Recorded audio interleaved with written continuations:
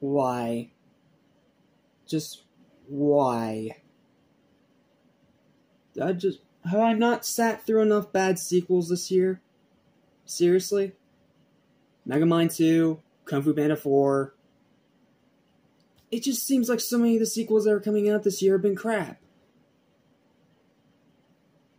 I was hoping this would be an exception. Not to mention, it's getting like the highest praises imaginable for the rest of the critics and most audiences. But no, I hate to be that guy, but I'm here to tell it like it is. This movie's terrible, and I'm about to go off on it in probably one of the angriest rants you will ever see out of me. So, if I haven't already made you leave, strap on in. This is going to be a rough one. What's up? What's happening? What's going on, buddy? Welcome back to Animation Station, your number one suggestion for anything and animation, including TVs and movies as well. I'm your host, Jackson Small, and I am here to tell you why Inside Out 2 is a pile of crap. So, for those of you that may not remember, even hear that or you haven't watched my review, I love the first Inside Out. I think it's a great film, even if I think it does have some problems and it doesn't have much rewatch value. But it's still a great movie, and if I'm in the mood, I can pop it in and enjoy it anytime I'm in that mood. Yes, that mood is rare, but when the mood actually comes around and I want to watch it, I always have a great time. And I'm still remembered how amazing of a film it is. This, however, had red flags before I even started watching it. Sorry, I had something something ear. How exactly? The marketing. The marketing of this movie told me right off the bat what it was going to be. It was going to be a desperate cash grab a movie made by corporate rather than expressing creative freedom. A movie made to steal people's money off of their own nostalgia.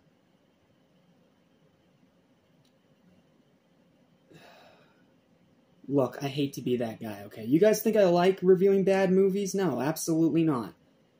But as I've said before a million times, and many other videos and reviews, I built my channel off of brutal, honesty. And that's what I have to do here. I have to give you my brutal honesty. Inside Out 2 is everything that an animated movie sequel shouldn't be. And considering this is from Pixar, it's unacceptable. So, what's the story here? Well, uh, Riley's a teenager. She's going off to hockey camp, but the emotions, joy, sadness, anger, fear, and disgust that we enjoy from the first movie, that we remember and love from the first movie. Yeah, what happens to get kicked out by anxiety and a couple other um, new emotions. Was it sloth, depression, and envy? I believe their name is. I don't remember all their names, nor do I care. Let's start with the, my biggest problem with the movie right off the bat it is rehashing the same plot as the original. Sure, it may seem different on the surface because, you know, it's about trying to get the sense of self back rather than, you know, the core memories, but it's still the same crap. It's still one or more of the five original emotions trying to get back to headquarters to save Riley before she does something terrible and awful because the other emotions have no idea how to control her whatsoever. Yeah, it's blatantly rehashed in the most obnoxiously obvious way imaginable. Like, you guys remember how I said that Avatar 2 was the exact same plot as the original? Here, it's the exact same scenario. And what a coincidence, they're both Disney movies. Maybe I expected too much. Maybe I thought, oh, well, okay, the marketing looks bad, but maybe this is like a Garfield scenario where the marketing looks bad, but I see the movie and it's amazing and I like it and I enjoy it. No. Marketing was bad and the movie itself was bad. Look, I know this review's disjointed. I'm sorry, but I'm still just trying to gather my thoughts while I'm also trying to rip this movie apart. So please excuse me for it being disjointed. So, yeah, story's a blatant rehash. In other words, it sucks. Alright, number two, animation. Animation's still great here. They even mixed in some 2D. I'll give them that. So, animation, not the problem here. I'm not going to even try ripping that apart because it doesn't need to be. The animation's still great here. Absolutely. That's the one part of this movie that I will 100% say is still great carrying over from the original. The fantastic animation. Voice acting. It's mostly fine, but I gotta talk about, I believe it's Ayo Edebiri as the voice of anxiety. The, you know, the girl from Abbott Elementary and the one who voiced the new April in the excellent TMNT Mutant Mayhem uh, last year? Yeah, last year. Unfortunately, in this movie, she's probably at her worst because anxiety is one of the weakest, most annoying, and most unoriginal and unenjoyable villains I think I've ever seen out of any Pixar movie. And yeah, that is taking Lightyear into account, by the way, with that stupid plot twist. Anxiety is a terrible villain. Plain simple.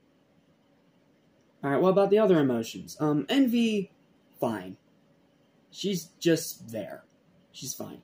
Depression throws in a couple witty jokes here and there.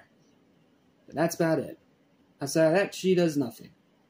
And then there's embarrassment the unexpected hero of the movie. I'm not going to say why, you're just going to have to figure that one out for yourself. Because, yes, as much as I hate this movie, I still keep this stuff spoiler free just in case you people still want to go see it. Because you're entitled to your opinion and you're allowed to like whatever you want to like. You guys come here to hear my opinion. In my opinion, this movie's crap, but maybe in your opinion, it's better.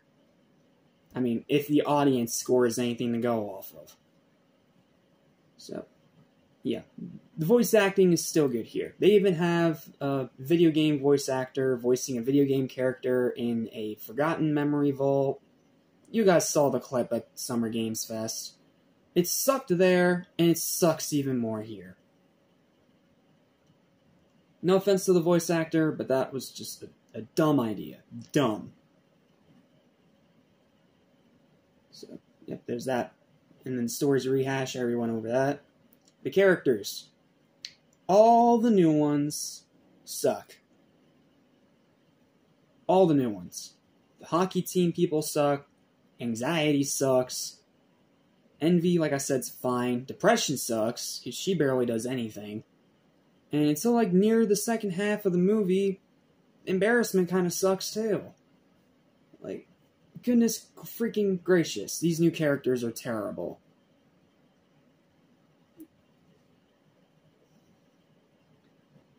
what else is there? Um, oh, the writing.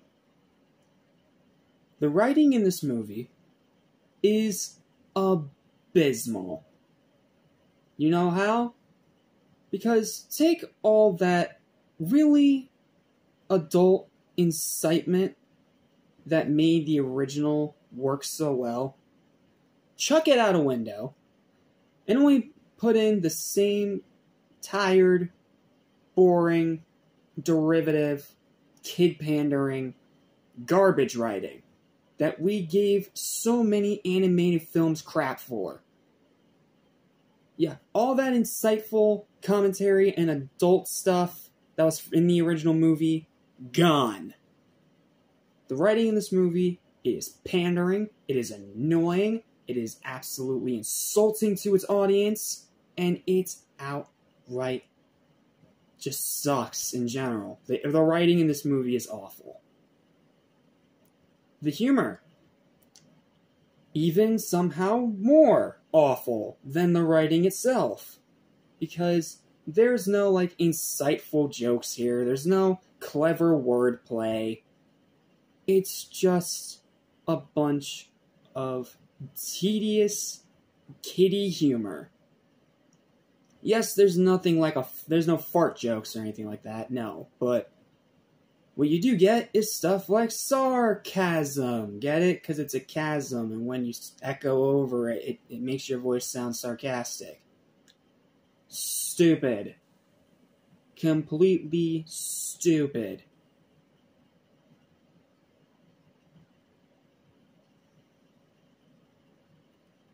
You want to know how many times I laughed in this movie? Once. There was one funny joke. That's it. I only laughed once. It was one joke. It was from anger,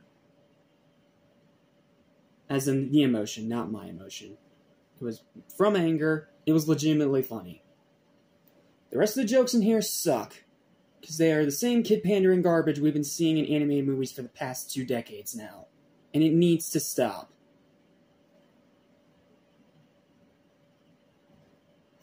Is there anything else really worth talking about here? Because I, I, think I've pretty much hit every note. The story's derivative and unoriginal. The new characters suck. Voice acting is a mixed bag. The humor sucks. The writing is absolutely abysmal. What's left? okay, is there still some creative concepts? Let's go to that then. Creative concepts. Is there still creative concepts in how they try to visualize certain parts of human human aspects? Yes, there is still some of that creativity with stuff like beliefs and sense of self. That stuff is still insightful and still really cool. Problem is, the rest of it is just the same thing as the original. And once again, it's fooling everybody into thinking it's different when it's not. It's the same damn thing. Look, I have admitted in the past that I like my fair share of trash. Like, stuff that I know sucks, but I still enjoy anyway. Heck, the freaking awful Godzilla remake. I get a good, guilty pleasure laugh out of that one. But this, can't be a guilty pleasure. Because this movie's biggest sin, besides its awful writing, is that it is just flat out boring.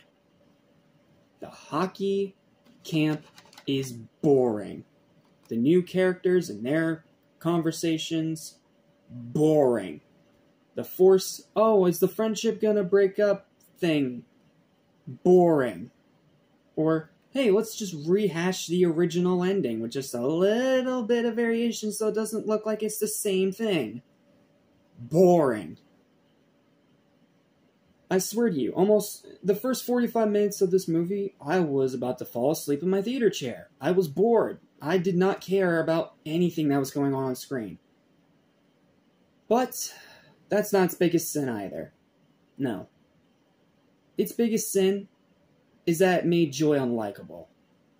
Yeah, it took the one character that I actually really liked from the original that wasn't anger. Anger's still great. But I mean, like, of the other emotions that I actually care about, they took Joy and turned her into that annoying freaking Anna Kendrick troll. Almost this entire film, she is endlessly annoying. Endlessly annoying. She's literally just Anna Kendrick troll, but it's not Anna Kendrick, it's Amy Poehler. And somehow she took everything that I praised about her and her performance that I had with the original movie, threw it out the window, went back to the same cringe that I try to avoid. Because I know, I know she can be cringe. Most of the stuff I've seen her in is cringe.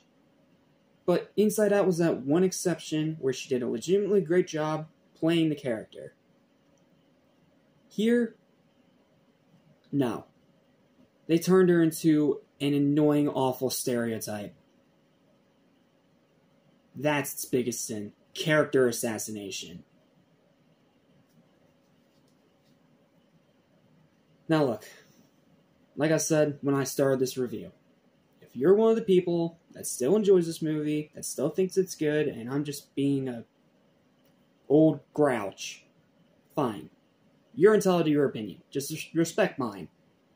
And in my opinion, this movie's terrible.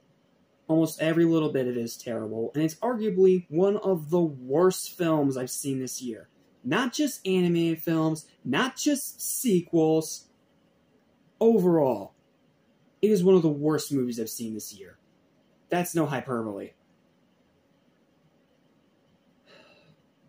And I hate to say it, I said the same thing with Furiosa. I'm gonna say the same thing here. This movie deserves the tank. I'm sorry if that comes off as harsh, but that's the truth. Because trash movies need to stop being made. We need to stop supporting crap like this. We need to give our support to movies that deserve it. Speak with your wallets. And again, this is Pixar. We should expect more. We should expect way better from Pixar. But it seems like this entire 2020 decade, they've just been coasting. Luca was the one great exception. After that, they plummeted themselves off a cliff. Lightyear was bad. Turning Red was absolutely just insipidly awful. And now this. I was hoping this would maybe be the one movie that brings them back to form and reminds me why I enjoyed this company so much. But instead, it reminds me of how much they have fallen since the 2020 decade started. Heck, you could argue before the 2020 decade started, they were starting to fall off. Because Toy Story 4, an unnecessary sequel that nobody wanted, but some people liked it, some people didn't. Me, I'm in the middle. I thought it was I thought it was fine. But pretty much every other Pixar movie we've gotten since then has been a train wreck. You know why you know why Pixar is under so much scrutiny? Because they were the leading innovators of animated films. They were the leading people, the leading example of how to make a quality family movie that can make both adults and kids of all ages, of any gender, of any sexuality, feel something. The only two emotions I felt watching this movie is anger and shame. Shame that this company has stooped this low. Now, I get it's probably the fault of their corporate overlords. I get it. But I was still hoping that maybe, just maybe, Pixar could pull away from modern Disney's stupid corporate influence and make great movies again. But it appears that time is now over. Because it looks like all they want to do now is kid pandering garbage. And this is unacceptable. You know why animated movies like this piss me off so much? It's because they don't treat kids with respect. They treat them like they're stupid. That's why these movies piss me off so much. When I rip apart a bad animated movie, it's because it treats its kids and its audience with zero respect. Zero. You want a family film to work? Respect your freaking audience. You want a film to work? Treat kids with respect feel free to challenge them. Absolutely. Challenge them either emotionally or challenge them in ways that they can think about something. Just make everyone feel like they went through an experience. That's what movies are supposed to be an experience to escape from the hell that is modern society. But instead, they just remind me of how much everything has changed. When I was a kid, when I grew up with Pixar, I remember having such an amazing time. And rewatching those movies now as an adult, I still love them. You could say, oh, well, you're blinded by nostalgia. No. It's not just nostalgia talking. It's not just the child side of my brain talking. it's because it's a legitimately great film. All those original movies they made in like the 2000s and the late 90s, they were great films because they respected their audience and they actually bothered to try. They put the audience's enjoyment above just profit gain. That's the biggest issue with modern filmmaking a lack of originality and a severe lack of respect for the audience. And that's ultimately what this movie is. It's a disrespectful slap in the face that's trying to bank off of everyone's nostalgia of the original Inside Out to try and save whatever broken down hollow husk that Pixar is. It's time for them to stop coasting off their own name recognition and actually make good films again. But considering the fact that we have a fifth Toy Story movie on the way, yeah, we're getting a Toy Story 5, and the fact that their next two projects after that are reboots of two of their iconic franchises, Incredibles and Finding Nemo, it's obvious they don't care anymore. So why should I still care? Because I know what this company is capable of, and movies like this from them legitimately pisses me off. It's time for Pixar to stop coasting by on their name recognition, ignore the stupid freaking mandates and mandatory garbage that modern Disney tries to shove down their throat, and actually make great films again that can appeal to anyone of any age, gender, religion, sexuality, etc., etc., etc. My point is, stop making stop making kid pandering garbage and treat your audience with respect.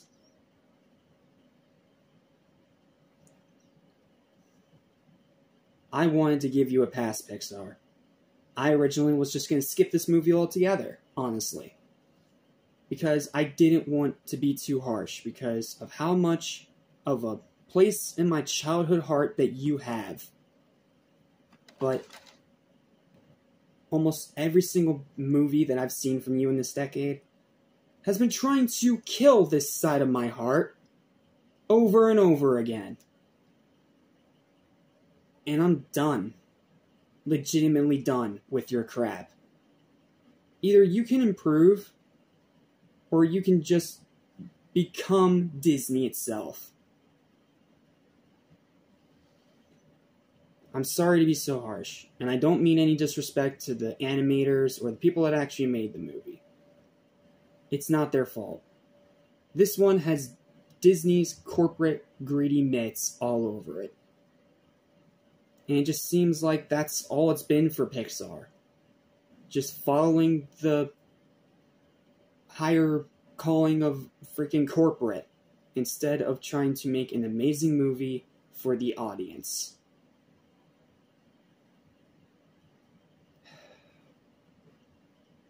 I've already ranted for over 20 minutes, goodness gracious.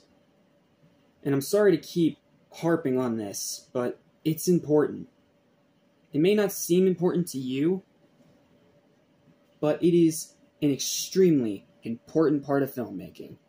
Respect your audience.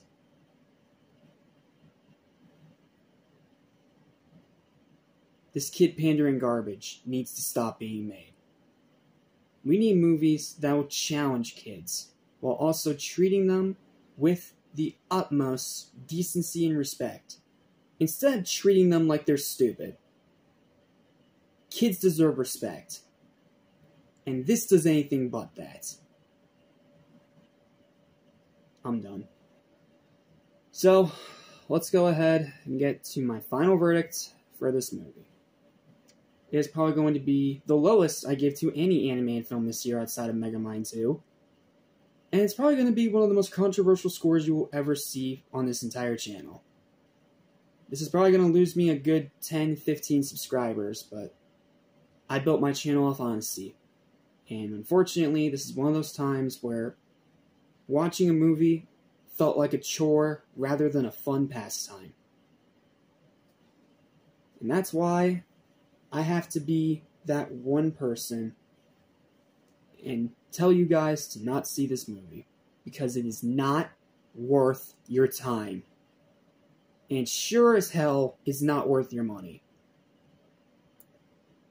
Final verdict for Inside Out 2 it's a crushing disappointing.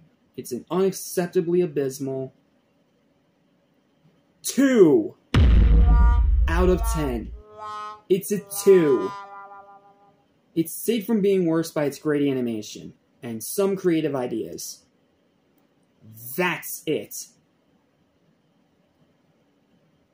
Lack of respect for the audience, abysmal writing, awful humor, completely rehashing the original story with zero freaking actual. This movie makes me so angry I can't even talk. But you get my point. No respect for the audience. Awful writing. Abysmal, abysmal humor. Terrible new characters. And a freaking horrendous excuse of a villain. And just a story that feels unnecessary because all it does is rehash the original with little to no differences whatsoever. It is dull, it is boring, it is tedious, it is monotonous, and it is aggravating. That's all this movie is, and that's all this movie ever will be. Don't buy the DVD, don't buy a movie ticket, don't watch it on streaming. It is not worth it skip it so it can fade into obscurity, just like Lightyear. Because it deserves the exact same fate. Pixar, you better come out swinging with Toy Story 5, or you're going to be in serious trouble. Because I'm at my breaking point with you. I hate to be this harsh. Because you mean so much to my childhood but I cannot defend you when you make trash like this. Get your crap together.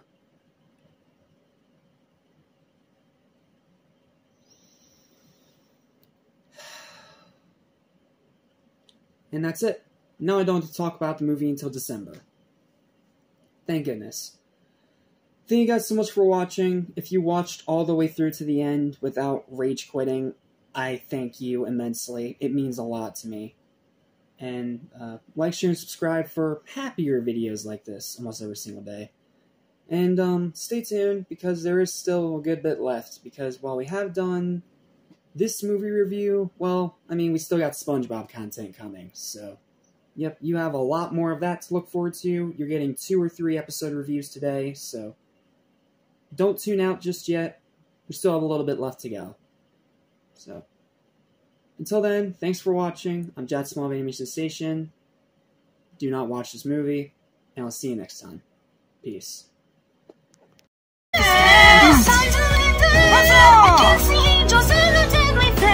We can't take it anymore. The time is too late. We're ready for.